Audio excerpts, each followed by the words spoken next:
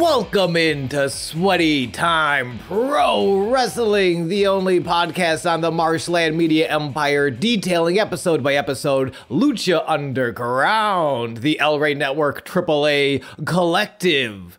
Featuring a big ol' wrestling nerd and a, a casual big ol' wrestling nerd.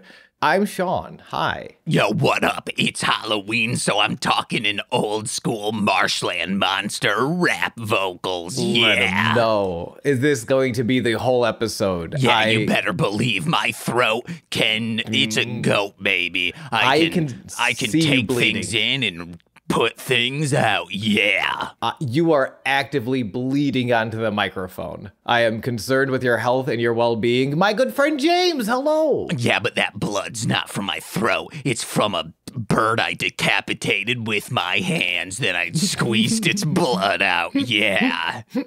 Oh, well, that's fine then. If you are a bird and you are listening, thank you. We're sorry we decapitate so many of you, but it's Halloween. Happy Yeah, yeah. Halloween, James. Happy Halloween! I'm back, guys. It's Oh, James. wow. Not I- 14 year old marshland mon- monster. That I'm having was so aggressive. No, and I can't I- say anything because I burp on this all the time. But that was like an aggressive. That burp. You did something to that gas to want to escape your body so aggressively. I don't normally drink soda, but I've been exhausted working like 12 hours. Just truly, I wake up Mm-hmm. if it's before 7:30, I'm working on an edit or music, whatever. And then at 7:30 I start working out. That takes about an hour, and then I do a quick little stuff. I prepare Nicole's food for breakfast, then we eat, and then I'm back to working until like 5 or 6. So, it's generally mm-hmm. just 12-hour days nonstop. Oh, buddy, that's stupid. It's good, and we all ha- and we have to do it. I'm so I'm sorry you're tired because you don't deserve to be because you already work crazy hard. Yeah, it would be great if I was reciprocating monetary value or just people actually listening to the shit. But Speaking of which- unfortunately, Welcome to Sweaty Time Pro Wrestling. I'm pretty sure the least listened to podcast on the network. Uh-huh. And James keeps bringing me back. I'm I'm I'm thrilled and I'm happy as always to be here. as I've said before, this movie's gay has not posted an episode in two years. Still gets more listens. But you know, I met a guy at a bar and I told him about this, uh, what I do, and he sounded interested. I actually did. I I, I name dropped it uh, at the store I work at, and the guy, the regular, seemed very nice.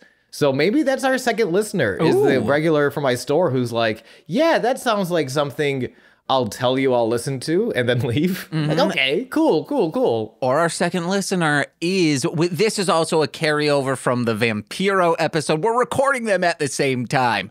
Uh, bam, of the bam, the bam, bam. intro to the Vampiro free feed drop. If you haven't listened to that, go back and listen. So Mm-hmm. I believe our second listener could also include someone who worked on Lucha Underground. That is a friend of ours, Steve F. aka Hit People Guy. It's always hard. Do I call him Steve F? Do I call him Hit People Guy? Do I call him HPG? I don't know. But uh, very graciously is friends with someone who worked on the show and reached out. And they will be on the show eventually, hopefully November, if not December. They're busy, fuckers. So we're gonna need all of all two of you that are not this guy. We need you to be really cool, Mm-hmm. super well behaved, and if I swear, I swear to God, if you step and poop, just wash off your shoe before you come into the podcast. Just, just to get a little, you get, you get a little stick and you scrape it off. You get a little hose and you spray it off. I don't care how you get that poop off of your shoe. We can't let, we can't let people see that there's poop on our shoes. I love poop on my shoe. I get it. And if you douchebags try to put it in Chavo's duffel bag, that's season one, not season two. We love respect Chavo. the King Guerrero. Actually, I don't know if I I don't know if I love Chavo after this episode, but let's get into it. What are you talking about? He's fine in this one. He's we'll get into it. Did I watch the right episode? Season 2 episode 3 The Hunt is on. Yeah, he wasn't in this, was he? He's mentioned in it Yeah, by he's a man mentioned. we love. Uh, uh, and do because we? we? love this, I thought we did. We loved him last season. Well, now he's a cop, so do we? No, not that guy. Someone else. Oh, wait, who? Ooh, we have so much to get into. So much. Let's start off. We actually get we go straight to the desk. No uh, pre-show shenanigans. We got to get right to it as Vampiro tells us this is not a test. Do not adjust your screens. Vampiro is there wearing a hooligan branded t-shirt. Hooligan, I assume to be the European equivalent of Affliction. If you remember Affliction t-shirts, uh, then drink some water and go for a stretch. We're old. And Vampiro clearly hasn't taken a breath in, I don't know, He's three so red. minutes. He Face is so red. beat red. Maybe he's pissed because he just realized no house band in this season. No, the house band space has been replaced, which is a good replacement. We've talked about before Mm-hmm. the Mil Muertes throne of disapproval, where he watches your matches and he does not like you. Also, It's great. as an audio engineer and knowing how a soundboard and a mix works, just to have to go prep that every single Yeah. weekend, mic up everything, that is an insane amount of work to do for. I don't know. Maybe during warm up, you know, in between filmings, that band's chugging, playing along. Maybe they're doing the chicken dance or something. Uh, Yeah. And yeah. they're giving, I think, something this country, I don't know, maybe because I lived in the Northeast for like most of my life, I don't see a lot of like bands out of Mexico. Mm-hmm. So like it's cool that it was it's, it's it was a cool uh, platform that they gave them. But like yeah, 30 seconds of TV time about I think uh, per episode. And they're like, you know, they're batch recordings, but it's still it's a lot of work for 30 seconds of TV time. But we miss them, and shouts out to all the sick ass bands in uh, Lucha Underground Season 1. Now replaced by a chair, and I'll say it, a disapproving father figure. I don't know if he's he's a father figure. I will say for me, this is a personal. For me, Mil Muertes represents himself as a disappointing father figure. That's the beauty of art. You can get you can you can see a disappointing father figure wherever you look if you try hard enough. I always thought the beauty of art was the trash bag of miscellaneous stabbing and piercing items he carried with him. Wait, what? That's from the Terrifier Art the Clown.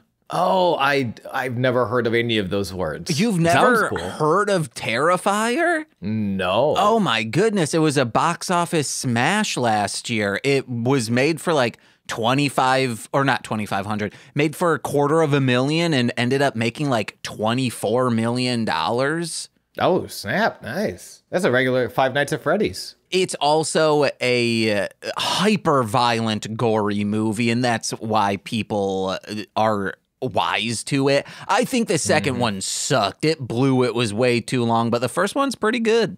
Hell yeah. I mean, it's. Are you watching any. Before we get deep, deep, are you watching any scary movies for this Halloween? Yeah, absolutely, dude. Who are you talking to? Oh, I don't even know. Are you are you are you checking your phone for your list of scary Oh, yeah. movies seen? Of Hell course. yeah. The Hell most yeah. recent we watched on uh, Thursday or Friday, we watched Bad Channels, which is a full moon feature alien movie. That's just wild and weird. And then Hell we yeah. watched, oh, what was it? What was it? Killer Workout. That was pretty good. Oh, that sounds fun. I'm assuming that is a gym that comes to life with the power of demonic possession. No, what you're thinking of is Death Spa. That's what happens in Death Spa. However, fucking, oh, I've seen Death Spa. It's and so I fucking, l- I love. Shouts out to Eric uh, Eric Bazile, uh, Buffalo comic, and the dude that showed me Death Spa and changed my life. It's so good. Killer Hell yeah. Workout is just a normal slasher movie that happens in a workout area gym. Hell yeah! Hey, do you want to hear my mom's review of the new Five Nights at Freddy's movie? What is it? And again, this is a review from my mother, who is a sweet, sweet woman. It looked good, but that you had to pay attention, so I'm watching a Miss Christmas now, since I can look up every now and then. It's actually a good one. I'll try Freddy again later. Wowzers. I thought you were going to say, yeah, game was better. I my mom saw it on Peacock, and then I I you ever catch yourself explaining something that really has no business being explained because it takes ten years? Mm-hmm. That was me in the middle of like, well, it was actually a game franchise first, and Yeah. and she's just like, this is too much information that I do not. I a don't do not need. B will never retain. But I love you because you're my son. So shouts out to my mom. I love you, mom. Mummy. Okay, so real quick, the Yes. being who is it's a director or the director who also directed Blood Diner. Blood Diner is way better. Sean, if you love Death Spa, you will love Blood Diner. But the being it's a great creature feature. Then it's sort of slightly sci-fi, a little bit or very sci-fi, a little bit horror. Earth Girls are easy. We loved that.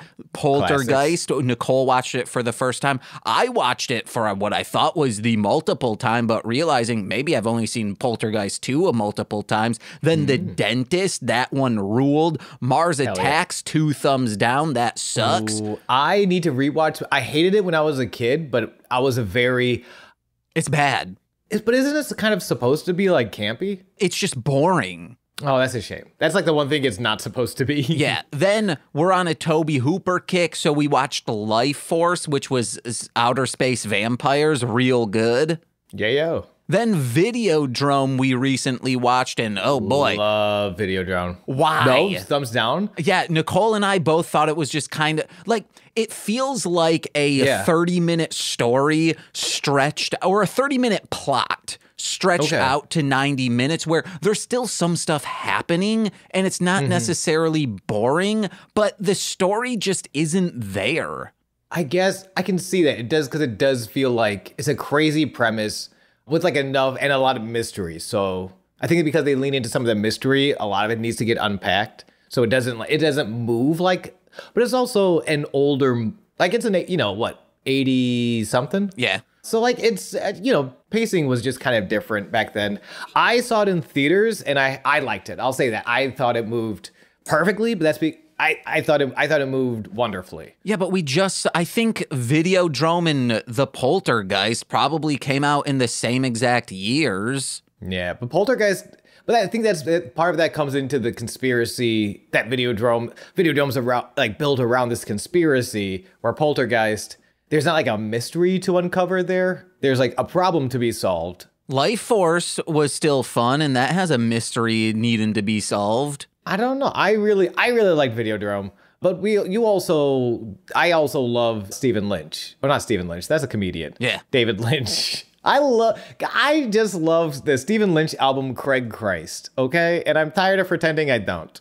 I also watched a borderline horror movie, but it's not a horror movie called Just One of the Guys, where a girl mm-hmm. who wants to be a journalist isn't being taken seriously. And by girl, I mean a high school student. So mm-hmm. she pretends to be a guy at a different school and then falls in love with a dude. And then, of course, it ends with him being like, well, wait, I'm not like that. And she just like flashes her tits and he's like, oh, oh okay. I've seen I have not seen this movie, but I have seen it covered on I Love the 80s. okay. For the I saw for the first time Jennifer's body. Oh, hell yeah, dude. I'm like mad that I let that slip under my radar for so long. Nipple slip under your radar. I let I'm so mad I let that nipple slip under my radar. It is so much more than I thought it was going to be.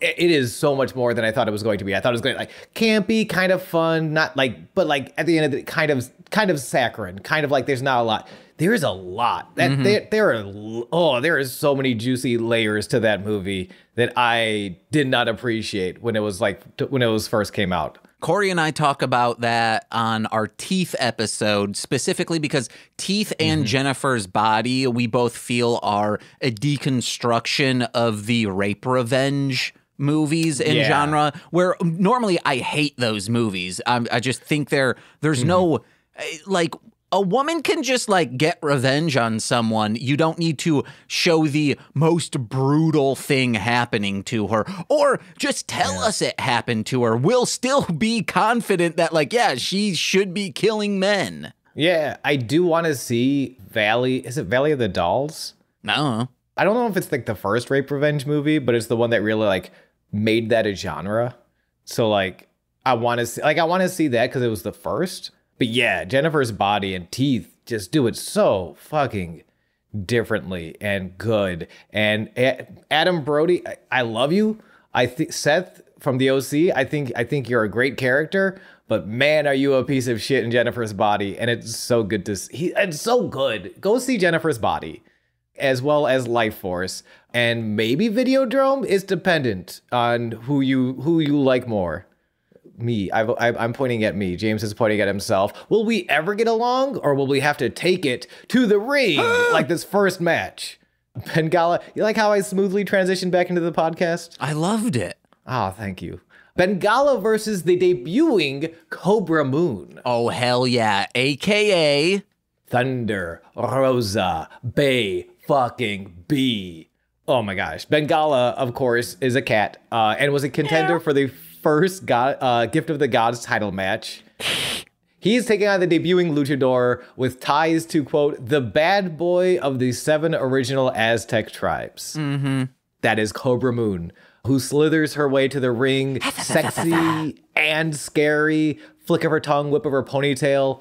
Like, before the bell even rings, her character feels so solid. Oh yes. What she needs instead of a ponytail, she needs to put like a little rattle in the in the tip of it. so then I it like that. feels like and then you, it's also an illegal weapon. Yeah, a weighted rattle. Mm-hmm. Yeah, and she's only been she debuts.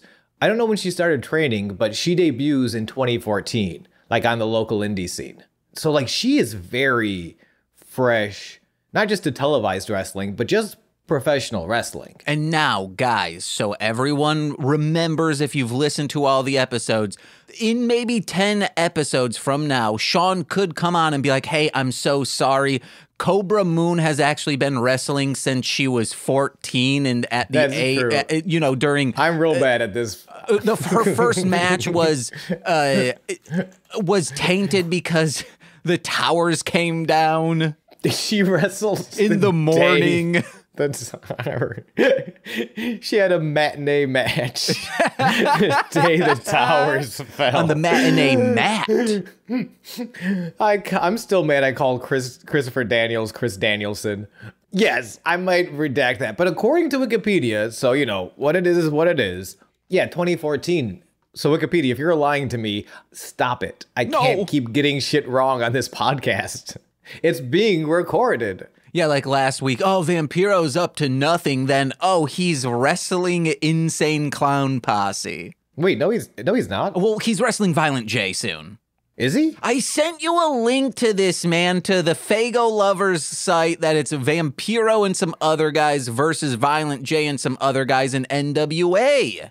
Oh my gosh. Okay, I gotta You I gotta go look through my it. links. You gave you gave it. You You liked it. acknowledged it. you went in the comments of faygoluvers.net and just said, "Oh man, fuck Twiztid," even though Twiztid isn't even involved, as they do on that goddamn website. Yeah, but for real, fuck Twiztid. No. Uh, what was I talking about? Oh yeah, just that. I don't. I have no way to bring this back other than to say I really enjoyed. I I just I- like before the bell rings. It's weird. I feel ding, like ding.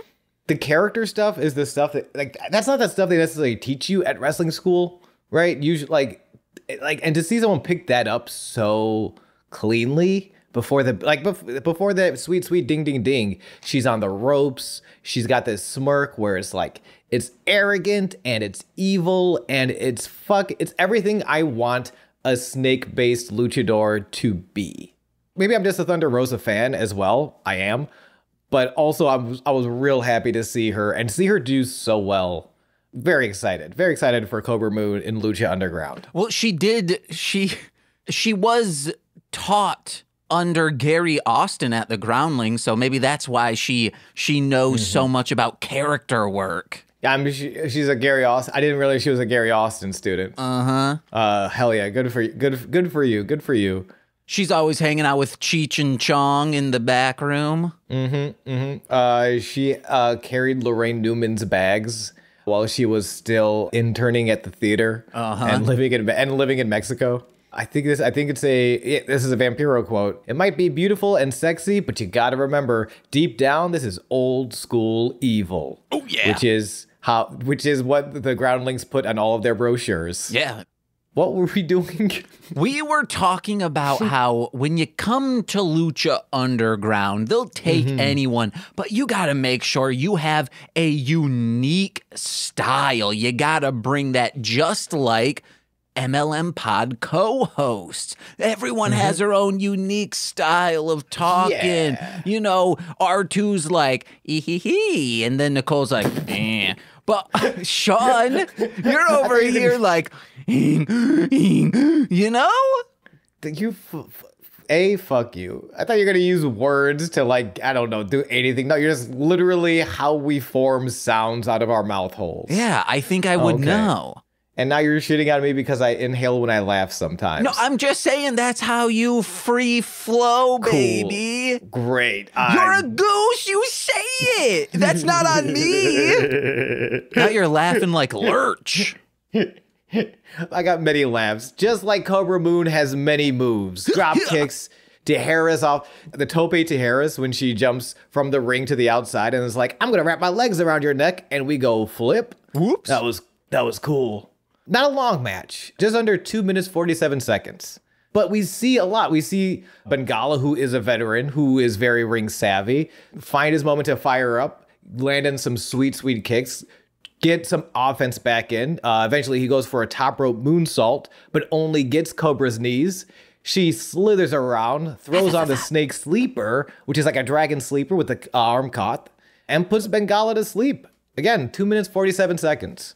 I really loved Bengala's flying headbutts. Those were fucking cool. That was very sweet. Flying headbutt, flying hel- headbutt, spinning wheel kick. Like very visceral and very cool. Like like uh, like that to do so much in 2 minutes 47 seconds. They make they make Cobra Moon look great. Uh, like a real killer. They make Bengala look like that really wily, intelligent veteran. That this, this wasn't an easy match. Like it wasn't an easy match for her to win, but for her to win, I don't know. Like again, when you say it's two, a lot happens in two minutes forty seven seconds, and that's very impressive. There were two folks in our apartment who are very upset by this outcome. Who? Oh no. Nicole's a big Bengala guy. I knew it. No, it was socks and butter. Shouts out to all of our cat listeners. Uh, meow, bitch. This this podcast this episode sucks. I can No, only it apologize. doesn't. It's good. We talked horror movies and then uh, we, We found did. out the unique styles, you know?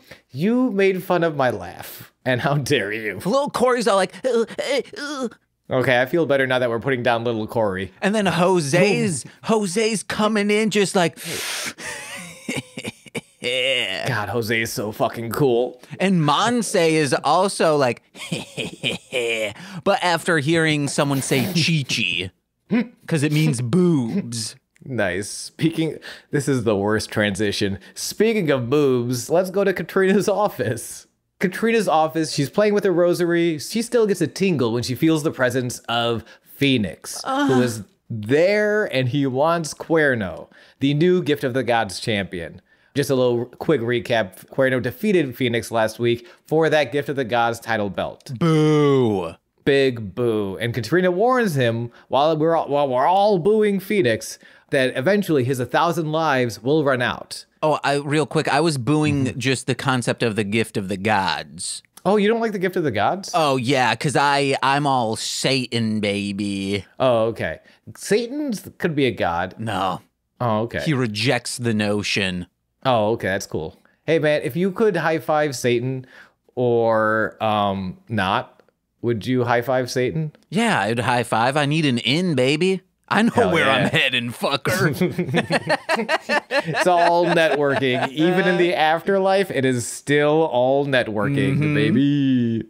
Uh, yep. Uh, Fénix, as a point out, he may uh, even after his thousand, before his thousand lives are up, he wants Cuerno, he wants Mil, and he wants you, Catrina. Fucking Fénix is my it, mm, mm, just mm. he is edging her. He's edging me. We're all edged by this sweet, sweet Fénix. Oh my god, the rated R superstar himself from Back you in- too. Oh my. Wait a minute. I'm st- how how did we get how did we get to the rated the rated R superstar from Edge. U2 himself, Edge, from Fénix? Because he's edging. Oh, right. I forgot we yes, true. Okay, I listen to I don't listen to this podcast while we're doing it, apparently. I am not one of the two. See? this is what I'm saying. He's all You like, right. You right. honk, honk, um. Yep, pretty much. Actually, it's honk, um, honk. Yeah, yeah. There we go. People are like, he doesn't say um that much. That's because I do my job. Hell yeah. Well, let's do well, how can you do this job without your precious technology? Say, I don't know, a millennia ago? No, no, This no. is wild. It's wild and Aerostar, we find out, is over a millennia old, as well Kind as of? has created LED light technology. Not This is insane. It's so insane. This is this is one this is one of the, those things that if it pays off, that's awesome. If it doesn't, oh No, boy. it's no, it's still fucking rad. I love this. This again. Okay, when, when you're playing Tekken, you find out, oh my god, this person's been alive for 300 years. That's what we need here, Jonathan. We do, but unlike Tekken, we can't. We do need stories to pay off a little more cleanly. I feel like. I don't know. We'll see. We'll see where this goes. Let's get into it. Actually, though. So we see the graphic show up a millennia ago. This is the first time hop in Lucha Underground. And we see a young woman of an Aztec tribe drawing in the dirt near a bonfire. She says the man from the stars has returned, while tribal leaders discuss the seven tribes are at war. She's drawn a Stussy S. What is that? The cool S that you see on every middle schooler's notebook. Hell yeah. And, and she's playing MASH. A uh-huh. mysterious voice calls for the unification of the tribes to stop what is coming. That mysterious voice is fucking Aerostar. Which is, again, what? And then he bl- like blasts off with sparklers and turns Yeah. into a ball of light and flees. with a little bit of like he has the Iron Man chest uh, battery in him. And that's how he like sparks a thousand years into the future. I read this. So yeah, they's like, "What do you mean something's coming?" And he's like, "Don't worry, I got." Or, or no, the guys, the tribe leaders say, "Well, that's that. Won't, that won't come for another thousand years." What they're afraid of is the gods arriving in the form of man, mm. someone with the power of the gods, but is a man which I think like I think Dario talked about. I think that, that's what Dario said the medallions were. Okay. Right? Yeah, I think that's part I think that's the gift of the gods title is the power of the gods in the form of a man. But that's not coming for another thousand years. So Aerostar says, "Oh, by the way, I also time travel." And I- Maybe. Maybe that's what I took it as. He jumped a thousand years into the future. I took this as, oh, I'm going to Miss Mar or Captain Marvel this. I'm going to go Mm-hmm. off elsewhere, and in a thousand years, I'll be back. it's so it's just so like it's really cool if it works out if it doesn't because I, I could also see this as why are we just giving aerostar more powers like but then again he doesn't we really never defined his powers before It does set up an issue of playing games like Dragon Ball. What's the Dragon Ball? What's the fighting one that's really popular? um, Budokai. It doesn't matter. Where you have like Hercule, Dr. Satan himself, or what, Mr. Satan himself, going up against Majin Buu and being able to beat Majin Buu. That doesn't make any sense. Aerostar in this case is Majin Buu, and just everyone else is Hercule. I think they did a good enough job. I would be afraid of that if they didn't do such a good job setting up. They really, the only Hercule is Marty the Moth. I feel like where he's just the only regular. But Yeah. is he? I was gonna say he's a regular guy, but he might not be. He might be a Dexter. Uh, Yeah. He might be a serial killer. Oh my god, if that's So, where this goes. If he comes to an event wearing like it would be fake, of course, but wearing what appears to be sexy star's face, oh my god, this would become my favorite show in in forever. I'm so upset that the listeners can't see you fanning yourself down as you consider Marty the Moth wearing Sexy Star's face. Yeah, because as everyone knows, if you're on the Patreon at the $25 mark, you can live stream these episodes, but the mm-hmm. camera's just pointed at my crotch. That's true. That's so you true. can't So see you- me fan. Yeah, and trust me, uh, you're gonna be happy it is. Oh, yeah. we guarantee it. Uh, so yeah, this segment, this is either I'm just leaking pre cum nonstop. that, which is how we watch this segment. Uh-huh. I'll, I'll say, I want to say this for it, uh, that this is definitely one of those. I could see this being very polarizing, where this is either shit you love or this is what's like, oh, this isn't wrestling. I'll say for us, we uh, James absolutely loves this shit. oh, yeah. I've been burned by story by bad creative before, so maybe that's why I'm reticent about it, but I'm excited for it. Been You know? burned by sparklers that jet set you into the future.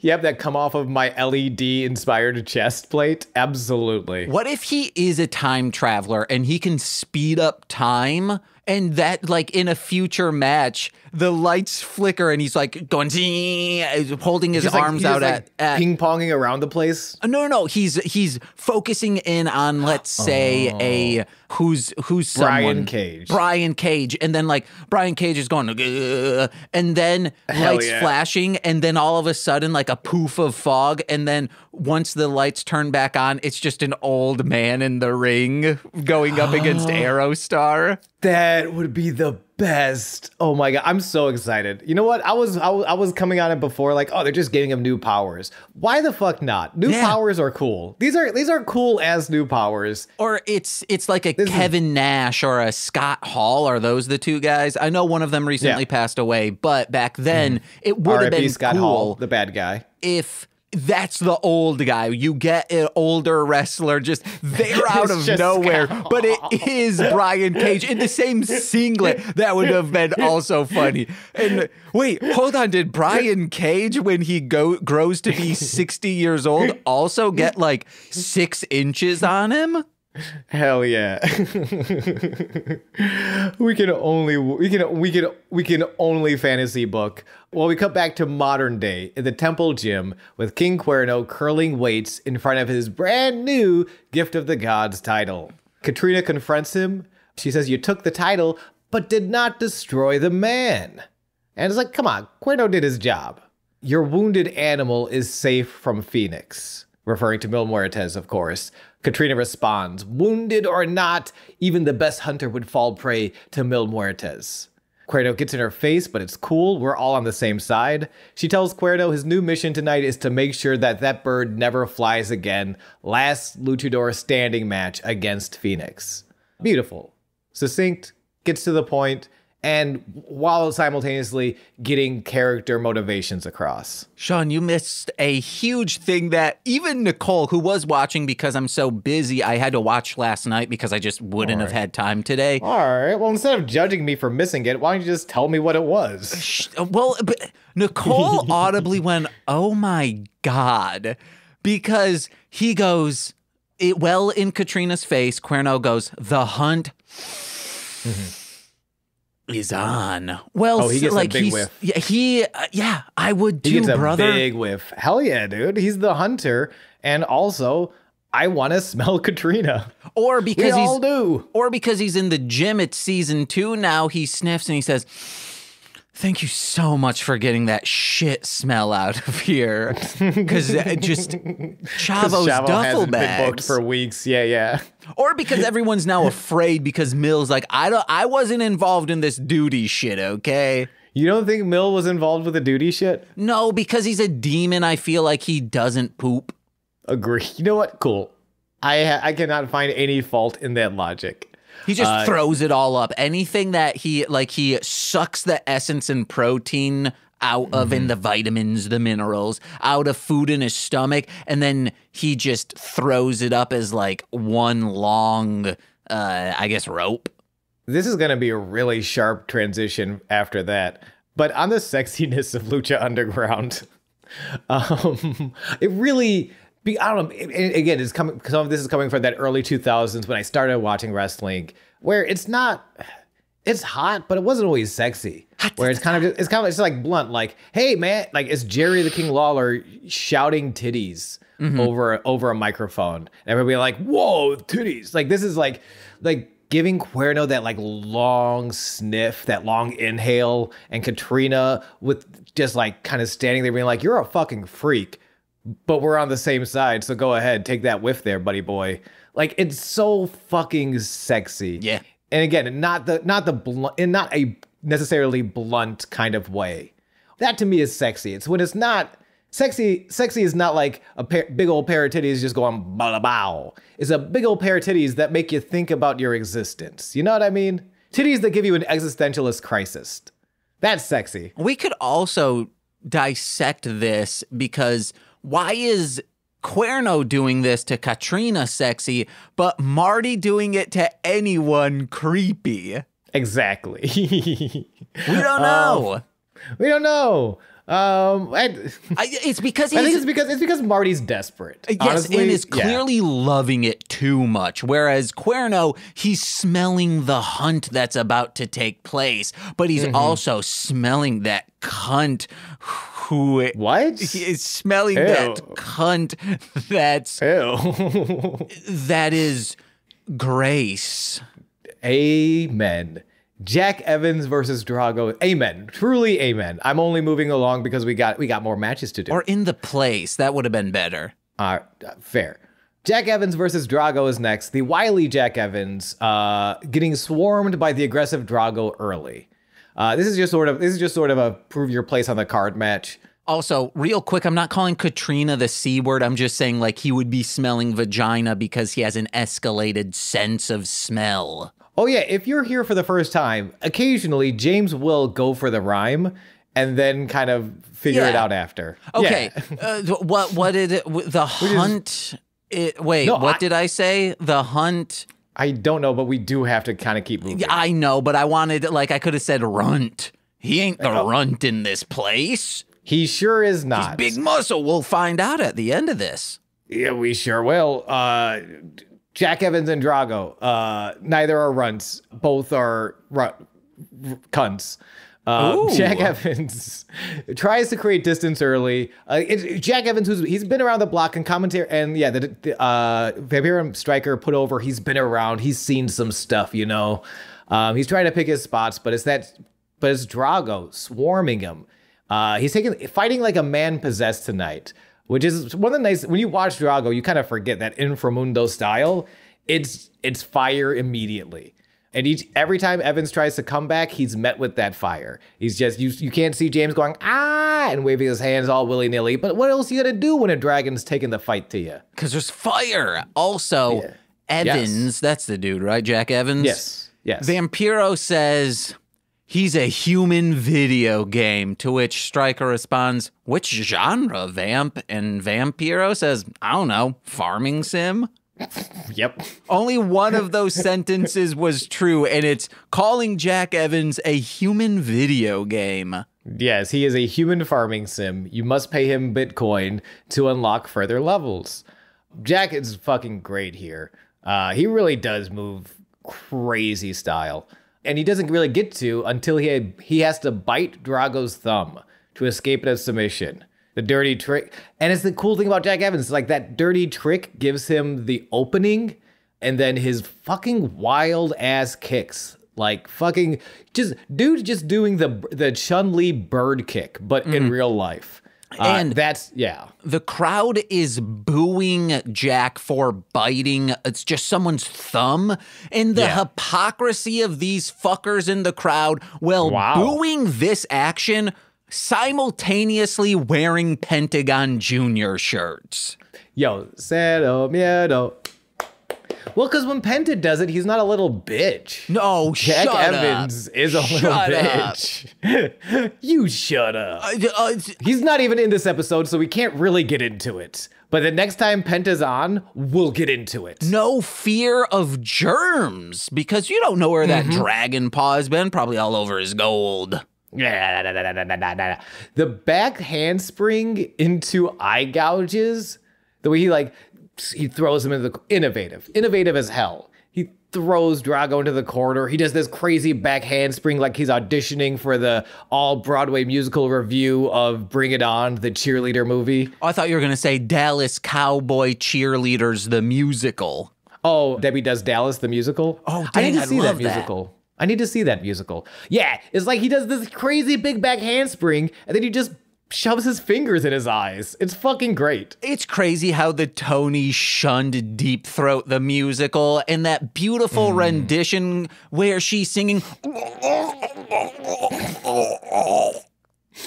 Agreed. Hell yeah, brothers. Drago's Drago's fire is too intense. Even after getting his his eyes gouged and his thumb bit, he still finds himself on top again. Crossbody from the top rope to the outside, draping DDT for a two. Drago looks for the dragon layer, the pin, uh, the rolling pin attempt. It gets countered by Jack, who backslides Drago and gets his foot on the ropes to steal the pinfall victory. Seven minutes and twenty seconds.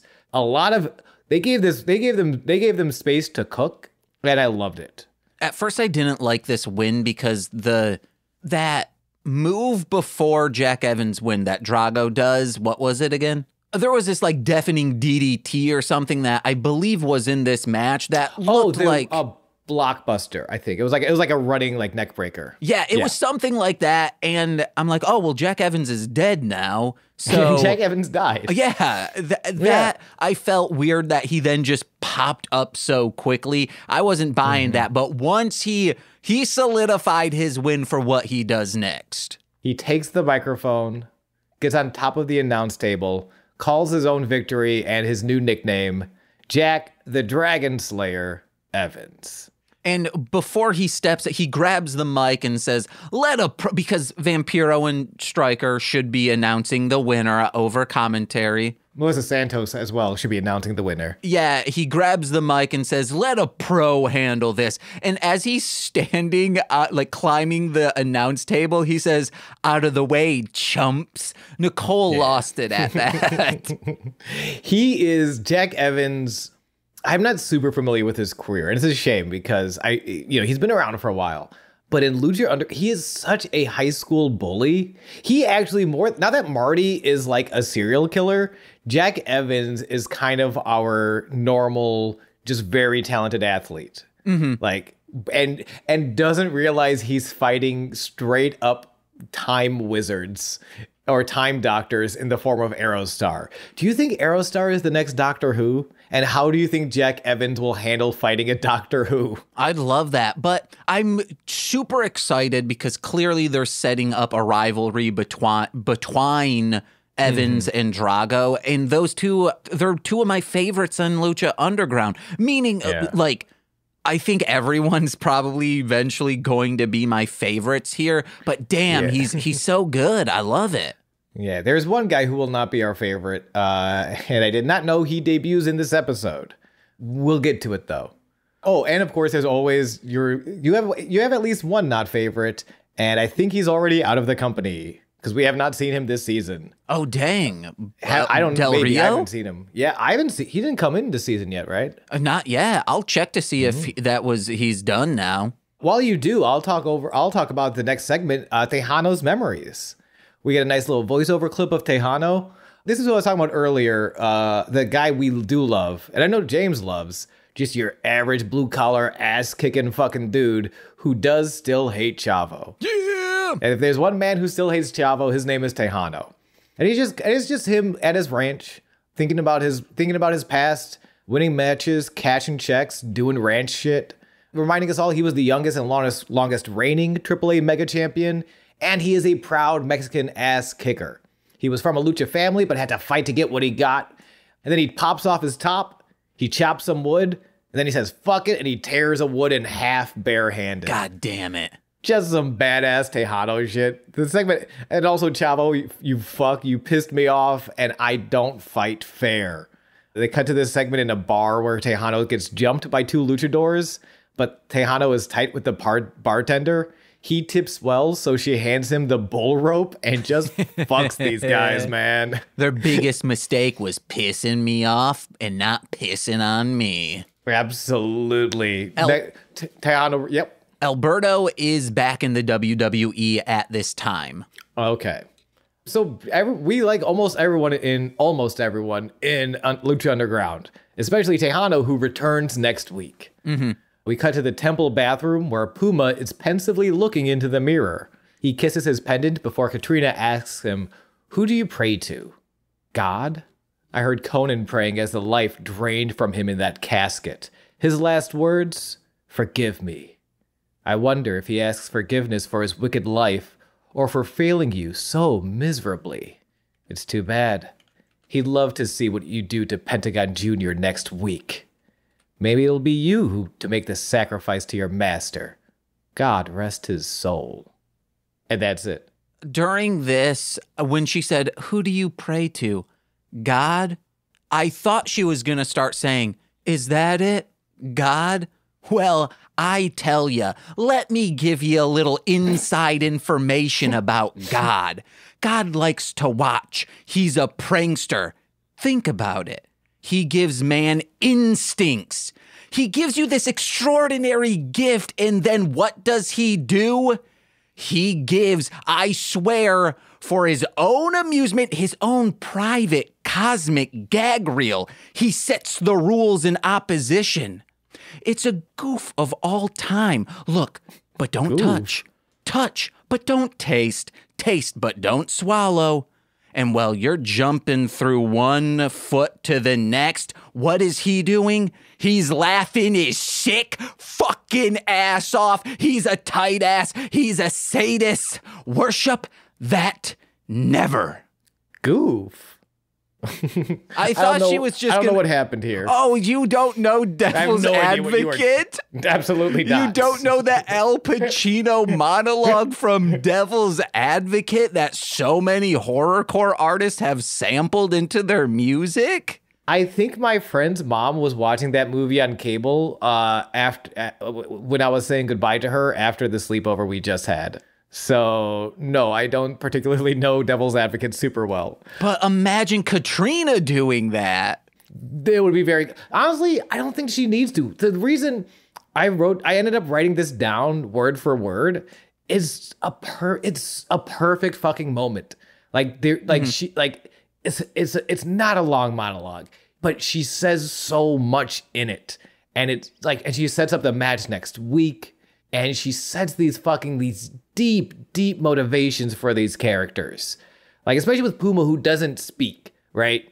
it can be kind of hard speaking as an amateur improviser of which i am it can be kind of hard to do a scene if your scene partner doesn't speak right? Hmm. It's it's just fucking perfect. Is this is this monologue better than the monologue from devil's advocate?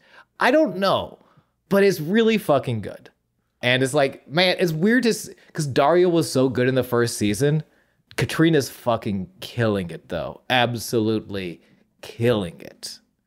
Catrina's the Al Pacino of Lucha Underground. And I'm not afraid to say that. We have one match left. It is the last luchador standing match Fénix versus King Cuerno. And it's pretty cool. Commentary muse over the recent grizzling of young Fénix, where he was he was this fresh faced, super happy to be here. Now he's seen some shit. He's been murdered already. Like he has been he was murdered by Mil Muertes and has come back once. Um, he is prepared to do it again. Vamp tells Matt, and it's a moment I love. Vampiro has to tell Matt that this is a non-title match, which this is. This is this is a last man standing. It is not for the gift of the gods title. And as Vampiro has to, as Vampiro tells Matt that Matt, we see they cut to Matt and he's like putting it together in his head, and and you see that the the realization uh, across his face. This is not a fair contest, right? This is not this this match. The only reason this match exists is Catrina is using her power to keep Fénix away from Mil. Like the fix is already in. The fact that this is not that why this is a non-title match is just to hurt Fénix. And oh, Matt just being like, I'm starting to think professional wrestling is a little corrupt. It's beautiful. Fucking art. Bell rings and the fighters square off. This is not like last couple matches we had guys like running out trying to get that early advantage. No, these you just square up and say, fuck it. And we love to see it. And we love to see it. Anything, James, before I like we I, I get deep into this match? Yeah, hell yeah. James gave me the thumbs up. So yeah, let's. Well, I, I, we're, we're running a little tight on time. Watch the match. It's great. It's uh, it's 11 minutes 20. It's and real quick on the time. The times on all the matches. Uh, last week I've, matches were very short. I think most of them were around five minutes. This week the first match very short. Second match for TV seven minutes 20 seconds. Good good chunk of time. This one 11 minutes 20 seconds, and I like that. Sean, Uh, yes. I wasn't talking for like five minutes because you had said in improv it's hard to do a scene with someone who doesn't talk. Well, on podcast, Sean, I don't think you mm-hmm. need a co-host. Thanks, James. I talk a lot. You did it. You're fluid. You are perfect. Is it? Is this, are you quitting the show? Wait, please don't. Goodbye. I no. James is James is turning into a series of sparks emanating from his LED chest plate and is going into the sky. I'll see him in a thousand years. Sean, I'm back from a thousand years in the past or future. I'm not sure which one because it's so much different. Oh wow, do they still have internet porn? Oh, you better believe they don't because the internet no. is outlawed and porn is just on the street corners, guys. People fuck on every single corner and oh, the market is oversaturated. Where's Uh, the fetish porn? Where? You know what else is oversaturated? My fucking pants after with pre cum after watching this match. Yeah. Sorry, James. I know you came, just came back from the future, but we do have a podcast to finish. Uh huh. It's a last Um, luchador standing match. Vamp, have you ever been in any of those? To which Vamp says, huh, only with my ex wife. Zing, zinger. I, I, she went for the knees. it's much like Vampiro's ex-wife. Uh, this match fucking kicks ass. I don't know. I didn't have one. I thought I did. Fénix's high high octane offense eventually gives him the early advantage. We got springboard ranas. We got these. We got precisely placed big boots from Cuerno. We get Fénix jumping over the top, tope style, to land on nothing as Cuerno just walks away and Fénix eats fucking shit. At this point, I wrote down how crazy it is that more wrestlers aren't terribly injured during matches. It's mm-hmm. crazy how professional these fuckers are. Truly. Especially these two are so they're so fucking clean in the ring. Just to throw a highlight on two men who are still, you know, you can still watch them. Rey Fénix on AEW, King Cuerno as Santos Escobar in WWE. They're so fucking smooth and clean when they do these crazy fucking dangerous spots. We get we get an arrow from the depths of hell like a mile away, which is the flying suicida that King Cuerno does. It's he's so Fénix is so far away and he still lands it and it looks disgusting. Uh, we get like back to back tornillos, like one from the top rope. and then- Then Cuerno's like, oh, he gets up at seven, and then Fénix is like, fuck you, and does another one. It's brutal. It's absolutely brutal. The finish of the match is they're on the outside. Cuerno finds a ladder, running battering ram, and this the looked so mean. This is a mm-hmm. very nasty battering ram. Takes Fénix, it eh, caves in Fénix's skull. he leans the lad, he leans the ladder on the office. He sets up a table. Cuerno is trying to German suplex Fénix through the table, which Fénix blocks. Eventually, he he try he he starts running up the ladder. Cuerno catches him by the foot halfway up. Fénix kicks him off and the ladder down. Cuerno and the ladder smash through the table. That's the 10 count. Fénix celebrates on top of the office. He has a, I believe, is a title match for the Gift of the Gods title next week. Ooh. Wait. And oh, yeah. for okay with que- I thought you meant a title match with Mil. I was like, wait, how? No, no, yeah, a, a, Gift of the Gods title match to Mm-hmm. win back his Gift of the Gods title. Which and it's one of those things where it's like, is it a little convoluted? Yeah. Is Of that, course. Is that is that a pretty fun path to walk down? I think so. Yeah. I love a room with twists and turns. One of the things I really loved about this match was Cuerno. He had it over on Fénix from the get go. And once the counts start getting more towards eight, Cuerno, along with the entire audience, is counting with the ref, which I loved Cuerno just like an angry kid saying, one, two, just saying like speed it up, dude. I clearly won, but no, no, no. Cuerno very I'm trying to think what's the word petulant with the way he's like demanding these counts to pick up. And you can you can see it. You see Cuerno just like uh it's so it's so it's so satisfying to see a well-to-do asshole get frustrated. Mm-hmm. Like when you see when you see the when you see the the CEO's son who's trying to shut down the ski lodge get pissed off at losing the race, it's oh, yeah. so satisfying. That's that's the vibes I get when Cuerno is counting along with the referee. And Fénix is the dudes pulling yank at ski school. And as you know what, somebody needs to. Because as much as they pull yank, they also have a lot of heart. And we love to see it. Yeah. post show. This shit is fucking crazy. Um, I did not know this. Yup. Anyway, a white room with a key card lock. A professionally dressed woman enters. She sits at her desk. She is Captain Vasquez, Vasquez, and she's meeting with her detective. And holy fucking shit is Cortez Castro of the crew. Insane. Cortez Castro was an undercover cop.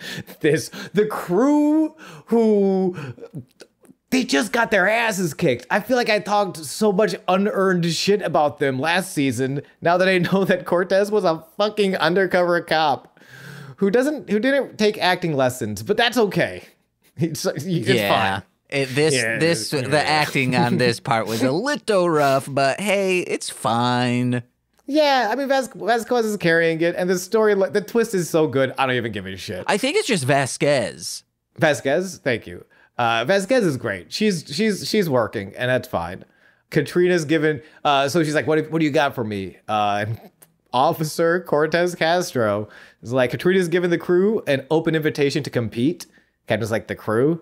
Cortez starts name dropping Chavo and Blue Demon, and she's like, "Shut the fuck up! I'm tired of your stories. Stop telling me about Mr. Cisco. It's a bad name for a wrestler, and it's a bad name for a friend.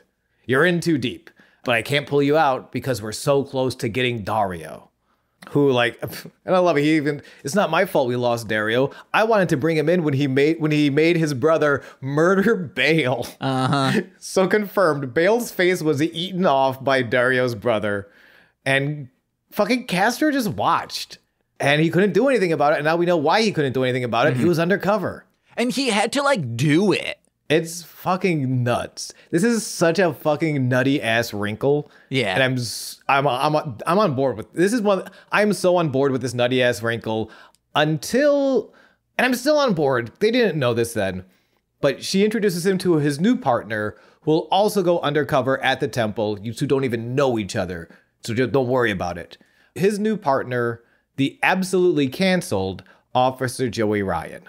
Joey Ryan was a a predominant figure in the Los Angeles indie scene, was credited a lot by a lot of indies guys as like helping put the scene on the map until the Me Too movement caught up with him and we found out he was just an absolute bastard. So we're going to be watching this absolute bastard for the next couple of weeks. This fucking segment is almost perfect. And we'll see where it goes. I think he's unfortunately I think he's here the whole time. Yeah, it looks like he is. Yeah. Which sucks. But you know, he's out of wrestling now. Nowadays he's being fired from Disneyland after people after people like after he got he got ousted out of wrestling, he tried to get a job at Disney. And then everyone was like, please don't hire this guy. He's not good. He's bad. So we can always take solace that Joey Ryan can't even get a job at Disney nowadays. But yeah, what a fucking wild ass twist. Mm-hmm. What a wild ass twist to these characters who were goons. They were they were they were the putties of Lucha Underground season 1, right? Like they didn't what character development other than they wanted money and they didn't like fighting fair. And now it was like, oh, by the way, this one's been a cop the whole time. Yeah, and I we need to know about the other two more. I think in order for like, were they cops? Were they just I don't think people? so. I- yeah, we need more. Because the way she says, I don't want to hear about Mr. Cisco again, makes me think that Mr. Cisco wasn't a cop and that Castro was getting too close. Like he was like, man, I know I'm not allowed to like you, but Mr. Cisco, I fucking hope you don't get eaten by a monster. Mm-hmm. I'm very stoked to see what the fuck is happening this season because oh, in case you forgot, Aerostar is a time is a Doctor Who. Mm-hmm. Aerostar is either a Doctor Who or a Captain Marvel, and we won't know until next episode, hopefully. I'll be here for there for that. James, will you be here for the next episode? Oh, you better believe I won't because you can do it oh, now shit. by yourself. Okay, well then I guess it's just gonna be me and one of two of our listeners. And if you come back next week, you get to hear all about our sweet, sweet plugs. For instance, you can see me at twitch.tv slash Goose Von Kaiser, where I'm I'm playing Dark Souls 3. Am I playing it well? No, but I'm having fun. And I would love for you to come through. Kisses. oh, kiss me. Under the dear, dear starlight, kiss me, and then fly into space. You've got LED lights on your chest, and you turn into sparks. And Castro is a cop, and it's still a cab, bitches. Kiss me. Yeah, turn into a Sparks. Who, who am I? A fairy in Spyro the Dragon, babe? Oh, I, I thought you were gonna be. the the babe got me. I thought you were gonna be a turn into a Sparks, and then you start writing all these really sad, beautiful love stories that get made into these million dollar motion pictures starring Ryan Gosling, Nicholas. Ooh, uh, the babe got me. That's what I saw after seeing Pig in the City. Hey, that'll do, James. That'll do. What you got to plug? What you got to plug? Let's do it at the same exact time. It'll make editing go quicker. I just did my plugs. Wait, I just What, did my did? plugs. Oh, Were you I was, listening? I was reading about Joey Ryan allegations. yeah, he's not a good guy. Hey guys, head over to MLMpod.com to find out information about the other podcast I do. Listen to my music under Marsh Land Monster. New a jungle drum and bass thing coming out in November on the 10th. So that's just a couple weeks away, baby. And head over to patreon.com forward slash MLM pod, where for $5 a month you get exclusive content every single Friday. I might have accidentally said patreon.com forward slash MLMpod.com in my previous thing, but that's just MLMpod.com to find out about free feed stuff. But patreon.com forward slash MLMpod to find it for $5 a month, you get exclusive content every single Friday. Again, I'm exhausted. Mm-hmm. You got this, baby. You got a lot of great stuff. It's like three and a half years of content every single week, putting stuff out. Sean's been there. Everyone's been there. Oh, yeah. And $10 patrons get monthly bonus content like straight to Patreon, where you could hear Sean talk with Torchy Berry and I about Invisible Dad. Dean Norris, absolute classic. Yeah, it's so good. And you got yeah. shout outs on every single free feed podcast. So let's begin with those, starting with Steve F., Oh yeah. Eric Berry of Ranger Command Power Hour, Oh yeah. Alex Z, the Waz. Oh yeah. Orion, Who yeah. Jordan B, the Chaos Witch, Who chaos yeah. Joshua Jakis, Who yeah. Steve Barnes, a sweet child of time, and Intro Void. Listen to his music. Sweet ooh yeah. My mother, Mommy ooh yeah. Lil Corey's BFF and now former roommate Shane, Who yeah. that fed, That who yeah. twitch.tv forward slash core winning. It's Corwin. Who Twitch slash TV yeah. And of the Rom Complex and Formulaic, a podcast in script writing, it's twitch.tv forward slash R2 Shelby 2. Who yeah. And I've been James. I'm still Sean, and this has been Sweaty Time Pro Wrestling. Bye bye. Bye bye.